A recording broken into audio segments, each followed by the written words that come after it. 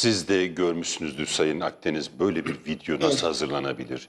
Yani bu ülkeye e, hala depremin yasını tutarken, deprem acısı insanların hafızalarında bu kadar tazeyken, bir binanın e, yakılışına, yık, özür dilerim, yıkılışına dayalı bu kadar e, bir şey basit, duyarsız bir video. Ne diyorsunuz buna? Ya ben geçen gün Soma'daydım. Bakın Soma'da madenciler deprem bölgesine gitmişler, orada can kurtarmışlar. Zonguldak'ta da aynı şekilde madencileri dinledim. Ya bizi biraz erken bıraksalar çok can kurtaracaktık. Havalimanında tuttular, orada tuttular, burada tuttular, oraya gittik. Kazma bile bulamadık. Gözümüzün önünde insanlar öldü diyor madenciler. Bunu bize söylüyor. Sizin televizyonlarınızda söyleyemiyorlar. Korkuyorlar, işten atılmaktan korkuyorlar. Durum bu. Bunu gözleri yaşararak anlatan işçiler arkadaşlar ya sadece e, muhalefet partilerinin üyesi olan muhalefet partilerine oy veren işçiler değil yahu. Yani AKP'ye oy veren madenci de MHP'ye oy veren madenci de aynı duyguyu yaşıyor. Yani insanların burada bir deprem anında partizanlık diye bir derdi olabilir mi? Yok böyle bir şey. Halkımızın böyle bir duygusu yok.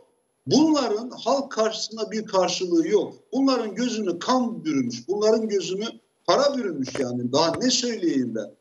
E, bunu yaptıkça e, kaybediyorlar. Konsolidasyon dertleri yani bir kutuplaştırabilir miyiz insanları? Acaba bir öfke ikliminden lümpen gençlik kesimlerini arkamızda tutabiliriz falan diyorlar ama yani kucak kucağa öldü insanlar yahu. Yani biz Adıyaman'da, Maraş'ta binlerce insan, kefensiz insanları toprağa verdik. Bunu gördük. Kayıtları bile tutulmadı o insanların. O insanların partisi mi soruldu? Böyle bir şey olabilir mi?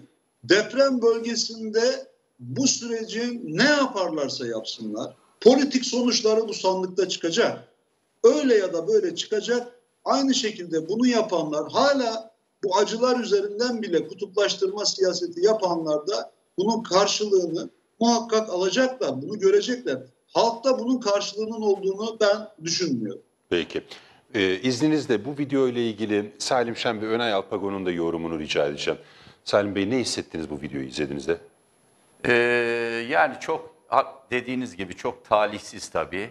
Ee, yani e, bu kadar duyarsız, e, bu kadar empatiden yoksun, insanların çektiği acıyı bile hakikaten iç, içselleştirmeden politik bir malzeme olarak kullanmaktan geri durmayan bir e, anlayışı yani neresinden bakacaksınız, ne söyleyeceksiniz ama şuna aslında tersten baktığınızda çok da e, aslında doğru bir şey yapmışlar. Videoyla mı? Evet evet. Hı. Yani o depremdeki çöküntünün müsebbibini ve o çöküntünün sorumlusunu oraya işlemişler. Bir daha görelim mi? Görelim. En son çıkan görüntü var ya. Hı.